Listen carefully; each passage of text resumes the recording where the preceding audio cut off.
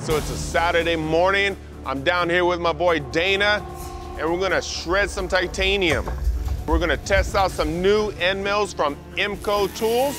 Most end mills that you see have two flutes, three, four, sometimes even five or seven. These are the cutting flutes that actually cut the material. This end mill has 13 flutes. We run tools at about 100 inches a minute. This tool we're gonna push past 200 inches a minute and we're gonna see if it breaks. This is gonna be awesome.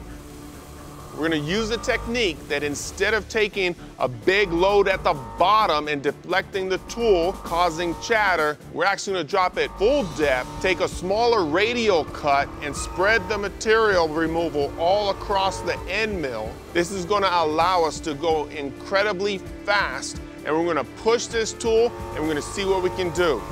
Inches per minute is the speed that a tool travels through metal, like a car goes miles per hour down the freeway. Most average machine shops run at like 10 inches per minute. Some of the better machine shops run 20, 30 inches a minute. Some even more if they're at the top elite status. We just finished running the titanium piece right here. We roughed everything out at 250 inches per minute.